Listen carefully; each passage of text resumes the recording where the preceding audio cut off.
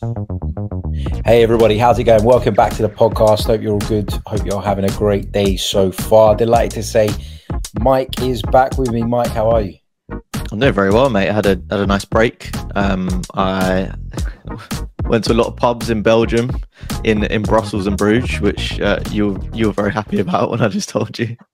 very jealous. you've, become, you've become quite the pub enthusiast, haven't you, over the yes, years? Yes, I have. Yeah, yeah. No, I had a had a nice break. Um, it was it was really good. Uh, as you know, in this industry, you kind of just got to take time out sometimes and reset, and you know, because the narratives, I think, you know, especially Arsenal fans will know that they just get they get really really familiar and they get really really boring. And I think it's because you know we've only got about 3 weeks of football in this period and then there's another international break. It happens 3 months in a row. And it it just means that it's quite hard to move on from the previous sort of na- narratives that we're having because there's there's so little football and it's broken up so much that we're just constantly focused on on the last result and the last few results it's quite hard to see the see the bigger picture um but uh, yeah, hopefully, well, there's no more now to March, are there? So we can uh, we can get some proper football back.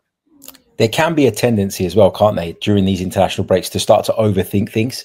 And I think you can get to a place where you start to look for problems that maybe don't always exist.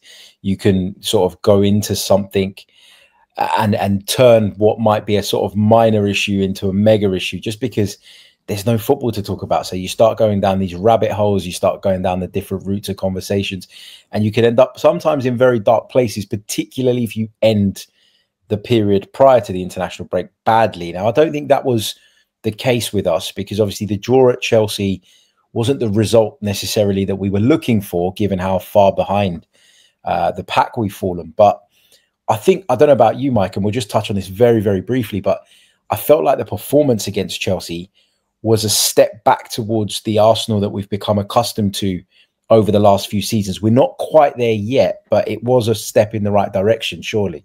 Yeah, it was much better. Definitely much better. I think, you know, from the from the Bournemouth and, and Newcastle games and um and uh Inter as well, where we are literally struggling to, you know, play passes, um progressive passes at least through the through the middle of the pitch. It was, you know, literally get it wide and cross was our our basically our game plan. Um, and you know that takes us back to the old days of Arteta, doesn't it? Um, but yeah, it was it was so much more fluid, and I think obviously it is quite easy to say that that's because of Odegaard, and I think a lot of it is. Um, but I think it's more the the mentality side of it as well. I, I think we've been in a bit of a rut, and getting a player like that, you know, improves your football, but also makes you think, okay, we've got a fresh start here. We can actually move back towards what we've done when we've been really successful, um, ditching that that four four two formation or four two four or whatever it is, and and playing back to, to how we know. Because I think we forget with with Arteta's football, it is formulaic. It is um, you know a lot of patterns, uh, positional movement, and I think when you change things and you take such a key cog out, everything changes. And now, look, some of my mates were, were saying to me, "Oh well, you know, Arteta's football's shit if it's based on one player," but it's not just about that, is it? It's a it's a much wider implication for the rest of the team. One key cog being out, and I think that's that's what we've seen. And hopefully, um, with Odegaard back, we can get back to our best. Yeah, absolutely. I completely agree with you. I think we were talking about it on a pod that I released yesterday, which was a sort of Q and A podcast where I was sort of responding to some of the questions that have been sent to me over the last week or so, and one of them was around our squad building and whether or not we've built the squad in the right way. And although I think generally we have, and I think at times it's very easy to kind of look at squad building and, and pinpoint that as a problem, but actually you just have end up have ended up with unprecedented amount of injuries. For example, we've got so many right back options. We've got Timber, we've got White, we've got Tommy Tomiyasu. And there was a point where all three of them were out and all three of them were a doubt. So that isn't squad building. That's just rotten luck. And I think if I did have one criticism of our squad building, it would be that we have prioritized the physical players, the players that bring us that side of things, and at times neglected, I think, what we require from a technical and more sort of flair standpoint. And you know, without Odegaard, we were seriously lacking in that, and him coming back in the side has made a massive difference. So that's my one criticism of Mikel. But as you say, the football's not crap. The football's been some of the best football we've ever seen um, when it's been in full flow and working. It's just that we've had so many issues to deal with. that has set us back. And we've got another issue to deal with potentially at the minute as well, because uh, it was reported yesterday that Ben White has undergone a minor surgical procedure to resolve a knee issue that he's been carrying. Now, over the years that he's been an Arsenal player, we've often looked at Ben White and said, this guy's just incredible. Like, regardless of whether he's carrying a knock or not, he still powers through, he still pushes through, and his level of performance, considering, is just really, really high all of the time. I'm not surprised to hear that he's got an issue that they've decided to put him under the knife for, because I would argue that at the start of this season, Ben White's level was dropped slightly. And we've seen him miss more games than he has done in previous seasons because of that issue. But I think you can see it, can't you? You could see that he was carrying something. And if this means we're without him for a period of time, but he's back stronger and ready to go for the business end of the season, then this is something that surely needs to be done. Yeah, it, it, needs to be done, but uh, as you say, Harry, it comes at an unfortunate time for us. I think when we're looking for for rhythm in the team and we're looking for consistent eleven, a bit like what we had last season and the season before, you know, it comes at a, at a tough time um, because we need we need some consistency um, in the eleven, but also in our style of football. Um, and and you're right. I don't think he's been anywhere near levels that that he's he's been previously for us, and that that could be because of this issue. Um, sounds like it is definitely. Uh, and and ultimately, what what we need is the best version of Ben White. Because for me, the best version of Ben White is someone who offers us uh, attacking impetus as well as defensive. And I feel like over the past sort of year or so, his role has become a bit more withdrawn. Um, and it leaves Saka a bit too isolated for me. And, the, and when we are at our best, we know we're a very right hand side dominated team we have that trio of White, Odegaard, and Saka, you know, all interchanging, all moving, causing opposition problems. Because I think one of our main problems um, recently, definitely, has been that we're too one-dimensional down the right-hand side. Because we've not had Odegaard, we've not had maybe a fully fit Ben White. It's basically the, the ball's been given to Saka, and it's like, okay, you got two, three defenders on you. What can you do? And he's so good that often he can beat two players uh, because he's just an exceptional talent. But it's too much to ask for him to to do that essentially.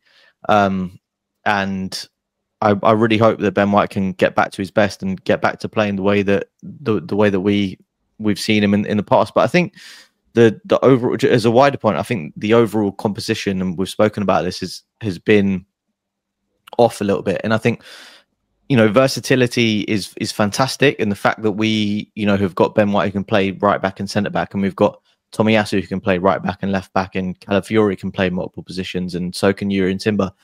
I think it almost doesn't give you that consistency and fluidity of of movement tactically, um, because when you're interchanging positions quite a lot, you don't have that sort of set mindset of when I'm here, I need to do this, and I'm going to link up with this player, and this player I've built a really good relationship with. Um, so, I mean, the hope is that we can really get back to full fitness and we can maybe try and nail down a bit more of a starting eleven like we've like we've seen before. I know that that's impossible, and you know the best teams interchange like that, but I'm just not quite sure we're ready for that just yet. Yeah, and I guess the the timing of this is interesting. You you're right to point out that the timing isn't great. It's never great when you're going to lose a player that would be a starter for you in your best eleven. But I think sort of reading reports that both Ricardo Calafiori and Takehiro Tomiyasu are due to return after the international break that kind of makes me think that that's why Arsenal have chosen to address this issue now. They probably knew about it for a while. We know that Ben White's missed games as a result of it. They've probably been looking at it for some time and thinking, okay, can we get him through one more week or two more weeks because we're really thin, we're really desperate at the minute. But coming into this period now where you're hoping that, you know, Tomiyasu and Calafiori will return very, very soon, it makes sense to take Ben White out of the occasion now and out of the fold now to make sure that he can have this minor surgery that's required and therefore recover from the problem that he clearly has. But um, yeah, fingers crossed he's back nice and soon because he's a really, really important player, as you say. I completely agree, by the way, on the versatility point. I think the, the there's this is twofold. I think the first thing is, as you say, that tactically it impacts your patterns when different players are playing every week. But the other thing for me is that you are you're essentially relying on one body at times to cover you in multiple positions. And then if you get an injury to that one body, that one player, you can then be short in multiple areas as a result of that. So if Timber is your right back cover, but he's also your left back cover and he's your centre back cover, well, one injury to Timber means that you're yeah. short in all three of those positions if that's the route that you go down. And I guess it's about finding the balance because what you want to do is you want to buy uh, the best players, which cost the most money, which means that if you spend that money on someone who can cover a, a multitude of positions, you would argue that that's, that spend is more justified because it is helping you in multiple areas. But it, it's a double edged sword, isn't it? Because as we've just discussed, there's some drawbacks to that as well. Another bit of news that we've read over the last couple of days, and it is a really slow, slow news period. We know that it's the international break. We thank you uh, for being with us. Uh, if you wouldn't mind leaving us a like, it really, really does help. Subscribe, all the rest of it. Join us on Patreon, patreon.com forward slash the Chronicles of a Gooner, where we've got uh, a piece of content coming up on Kai Havertz that we're going to record straight after this, but it will be available to you guys on Saturday. Do check it out. But another bit of news is with regards to perhaps some conversations that could be quite important in how Arsenal move forward. We know that the Arsenal executives are traveling over to the United States to meet with the Kroenke family. And this is alleged uh, to be with regards to transfer plans. But, Mike, first of all, you'd assume there'll be a discussion around what happens with Edu as well, right? Yeah, yeah, you'd, you'd like to think so. And um, we spoke about this this Edu thing recently. Um, and I think, look, it, it's really, really important that we get that sorted because I think a lot of the this whole team has been, you know, the the mind of him and then and then also Arteta as well. And I think those two working um, in tandem is really, really important. And and I think um, there was news about the Real Sociedad sporting director uh, leaving yesterday, wasn't there? And I think a lot of people have have thought, oh, you know, that kind of makes sense. Um, you know, with with, with Arteta's background um, at that club, obviously, um, and obviously there's a lot of Basque influence, I think, as well uh, in the at Arsenal and and in the Premier League as well. And I think that it kind of people putting two and two together and, and getting six maybe, um, but it kind of seems like the the sign of the kind of signing if they were going to go that route and get an external candidate the kind of signing that that that they would make. And i think yeah it's in, it's imperative. And you'd, you'd like to think that the january transfers have been drawn up already. I think these things are sort of done far in advance but to get that summer sorted um yeah it will need to be quick for sure. It's interesting isn't it? Because i think with all the injury problems we've had at the start of the season i think the mood around whether the squad is good enough to go on and achieve what we want it to has probably changed a little bit. Now, to be fair, there were some that even at the end of the summer window said uh, we haven't quite done enough here. There were a lot of people that were against the signing of Raheem Sterling, for example. I was all for that one, but just very quickly on that one, Mike, it hasn't really worked yet, has it? Because we have been in situations where we've been chasing games, where we've been chasing goals, where we've lacked the creative spark. We've desperately needed that creative spark. We brought this guy in to be that, and we don't turn to him. We don't seem to want to bring him off the bench. We don't seem to believe, at least internally, that he can actually influence a game or have a big impact on the game. In which case, I'm questioning what the point in signing him was. So, is it that he's not doing it in training? Do you think? Is it that um, you know, he's not quite as sharp as he needs to be. What, what do you think that's down to? Because Arteta spoke so highly of this guy. He really did, you know, sell us the dream of Raheem Sterling coming in. It makes perfect sense for everybody. It's going to work. It's going to help us. It still might, but we're in the middle of November now, and I'm not really seeing it. I think, honestly, Harry, I just think he's not he's not the Man City Sterling uh, anymore. I think he's he's spent um you know, time at a club with Chelsea that have gone through turmoil, they've gone through loads of different managers, and he's not been fancied there. I don't think he's been loved there.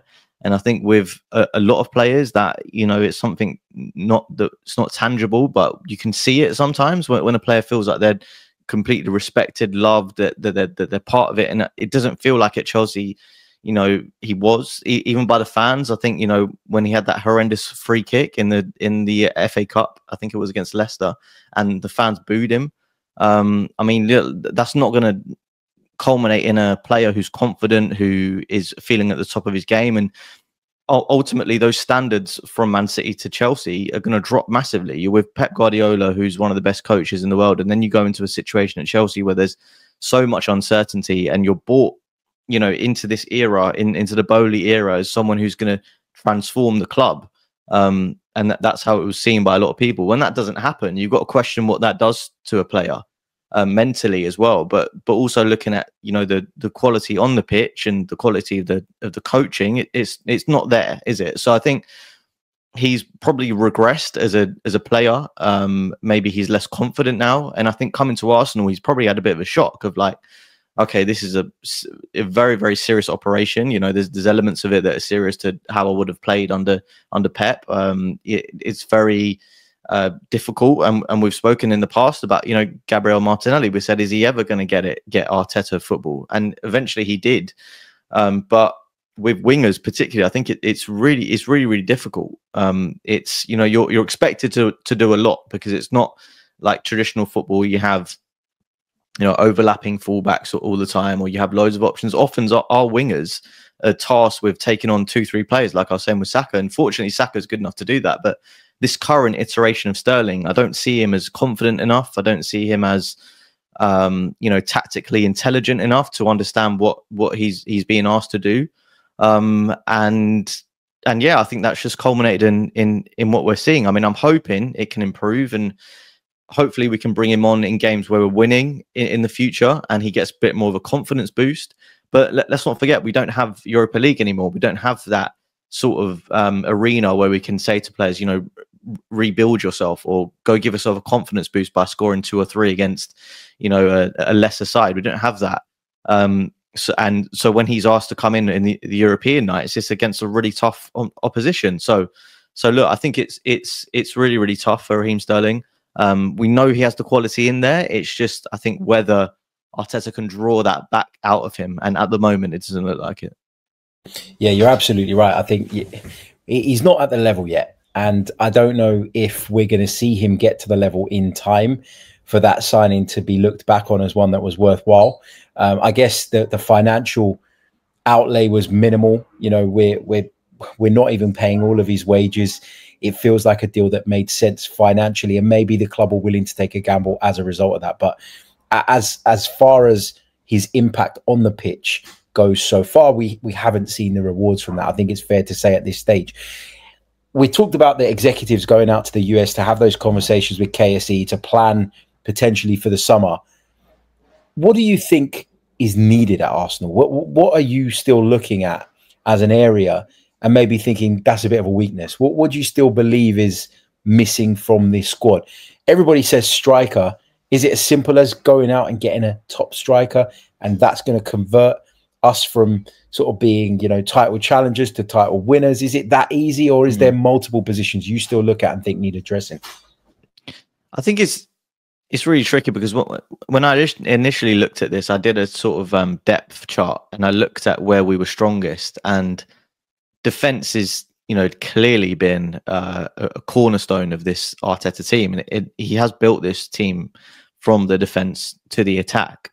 Um, and I look at that, and I don't think there really needs to be any improvements to the starting eleven. I think we've done quite a lot of that in in Timber and, and Calafiori um, recently. Uh, so I wouldn't say that defense is a priority. Um, I think where we're struggling really is the is the midfield balance and getting more goals in in attack. I think those are my priority areas that I would look at. And I think um, when in the summer we had a chat, and it, I think this has been the what most Arsenal fans have drawn as a conclusion of the midfield um, bit.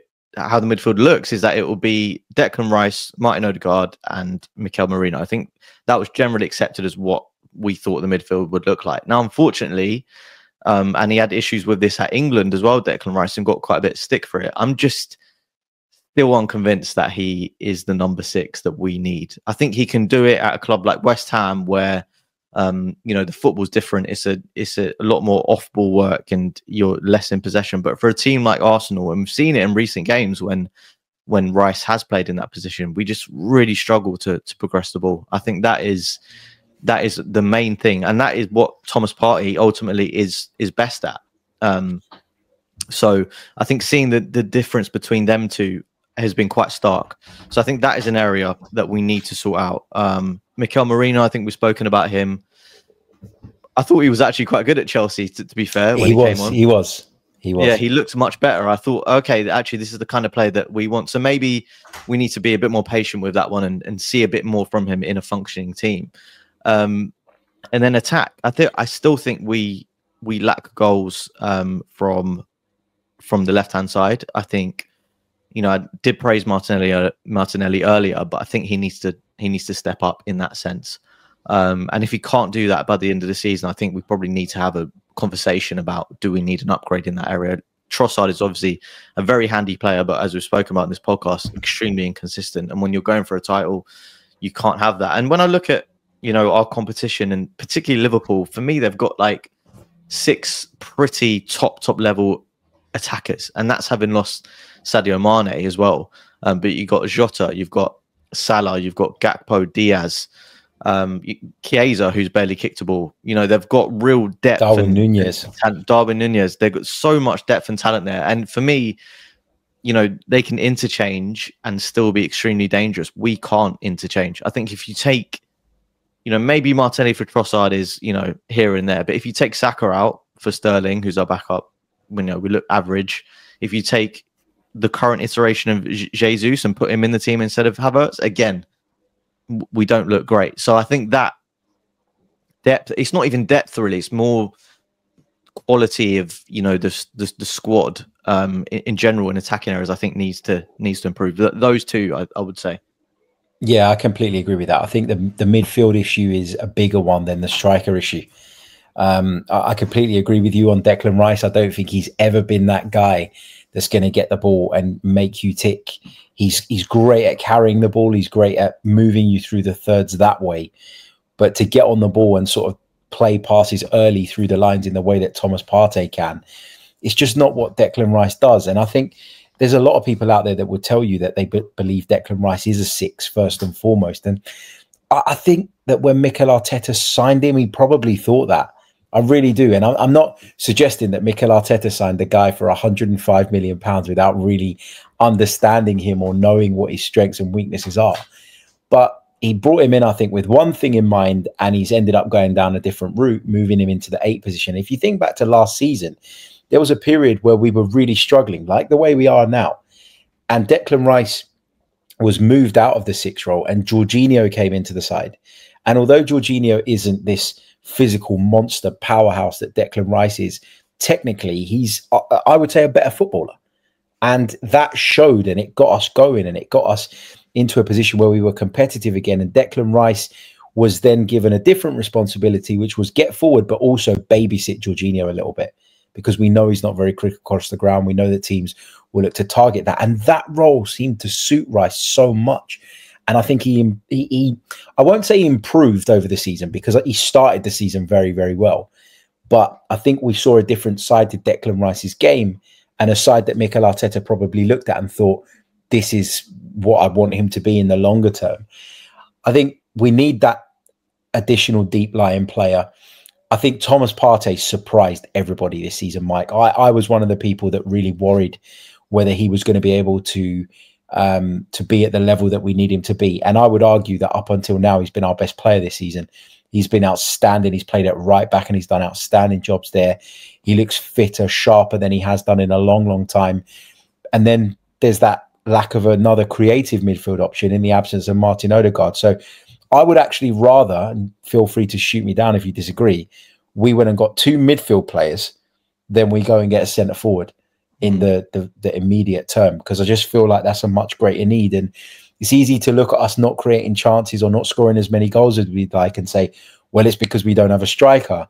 You need to create the chances. And I don't particularly think that it's because we've been wasteful recently. We just haven't been creating. 100% and in preparation for this podcast i actually looked on fbref which is a really good uh, stat website. And i looked at what i mentioned earlier progressive passes and the the top players in in the top five leagues uh, in Europe this season. And progressive passes is defined, they define it as completed passes which move the ball towards the opponent's goal line at least 10 yards from its furthest point in the last six passes, or any completed pass into the penalty area, and it does exclude passes from the defending 40% of the pitch. So not the penalty area not not the sort of first third of the pitch. Um, and actually number one in europe's top five leagues this season for progressive passes was joshua kimmich with 126 number two um, a very familiar name granit Xhaka um, oh, with 125 um, so you know that's that that's pretty interesting. And then also to, to continue the arsenal theme matteo guendouzi was fifth with 96 um, and for reference, from an Arsenal current point uh, standpoint, Thomas Partey is 47th with 65. Um, so you know this clearly is just a, an on-ball metric, and I think it you know yeah. it does show you um, that Granit Xhaka was an Arsenal player. We you know he did do this very well from that from that left eight position and, and surprised quite a lot of us. But the question has always been his his defensive uh, you know uh, capabilities and, and limitations. Um, so you know with all these stats you need to take it in into context. And i think it's quite interesting because you you made the point earlier about um, prioritizing physicality. And i think that that is what we have done. And when you have a midfield i think we we played a midfield of rice Merino and Partey. And for me like can you imagine Arsene Wenger ever, play, ever playing that, that midfield? That no, never. never that, and that's the point.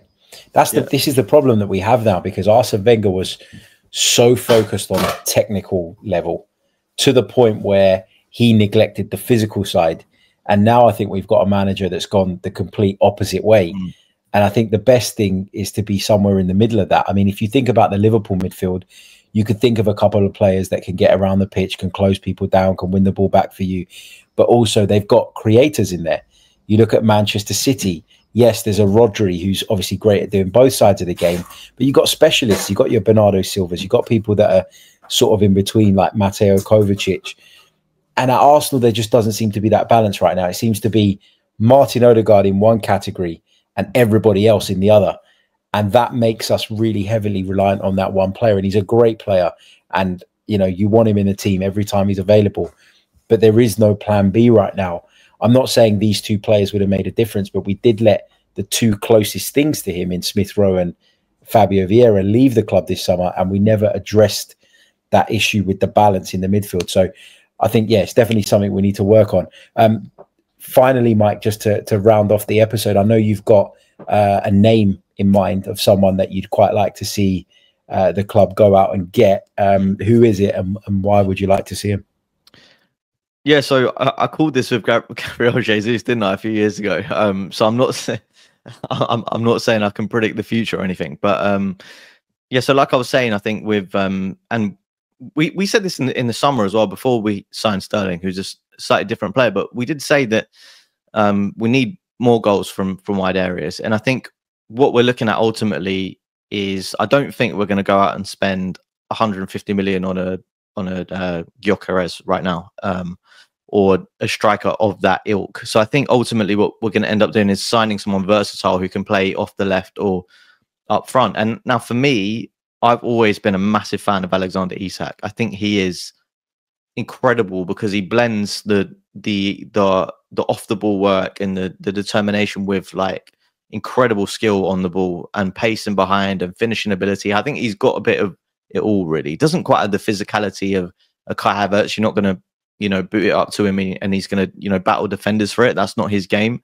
But if you're looking for someone who is versatile, can play on the left, through the middle, and is slightly different profile to Havertz, I think he's the kind of person that I'll be looking for. Whether that's realistic or not, I, you know, we, we don't know. Newcastle are going to want a lot um, for him. Um, we almost but, need that one. We almost need that situation to become untenable. Like we need Newcastle not to make the Champions League. We need Isak and his people to be pushing really hard from yeah. their side to make yeah. that deal happen because otherwise, particularly with some of the politics in the Premier League where you've got the sort of red cartel, if you like, as we're known, and then you've got the new the new money clubs where they feel like the the, the former money clubs or the the established clubs are, you know, trying to ruin them. It's it's there's a awkward dynamic there, isn't there? So we kind of need the situation yeah. to fall nicely for us. And also if he continues playing like because he he had a bit of a slow start to the season. I think he did he have a few injuries issues, um, but the last few games I think he's got four goals in his last three games. He's really you know come back with a with a vengeance. Um, and last season he got 21 goals and two assists in the Premier League. I mean, you know, that's that's pretty good numbers. Like that's if you if you replace sort of if you put those numbers into our team, and I know obviously it's you know it's impossible to do that because Havertz offers different things. But if you add, you know, five, six, seven extra goals, you know, that might get us over the line in some of those really tight games last season um, that we that we failed to win.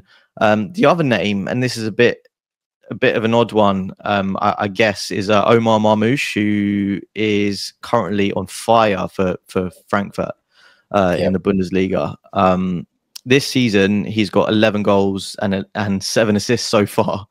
Um, so 18 goal contributions in 10, 10 games, 10 starts, I think, which is incredible. And that's obviously um, Bundesliga only. Um, and he can also play off the left or up front. He's also extremely pacey, skillful. Um, so yeah, that was someone that I looked at as a as a kind of uh, outside shout. I don't think he's you know really been linked with us before or, or, anything like that. He's probably not a name too familiar with with loads of Premier League fans. Um, so yeah, someone someone like who can you know play up front, can play off the left, and ultimately I would say an upgrade on not necessarily Kai Havertz, but definitely Gabriel Jesus, because I think this is the bit of the elephant in the room, isn't it? And I, I think if Jesus was at that level pre knee injury, we wouldn't really be having this conversation because I think he's such a such a good player and offers so much, but we're just not seeing that at the moment. So I think that's where this stems from. Completely agree, Mike. Completely agree. And as always, great stuff. Thank you uh, so, so much uh, for joining me. Really, really appreciate it. Make sure you give A follow. His handle is in the description. Make sure you subscribe to the pod. Uh, whether you're watching us on YouTube or listening via audio, please do uh, give us your support. Uh, make sure you leave us a review as well if you're listening on Apple Podcasts, especially. And we'll see you all again very soon with another episode of the Chronicles of a Gooner. Until then, take care.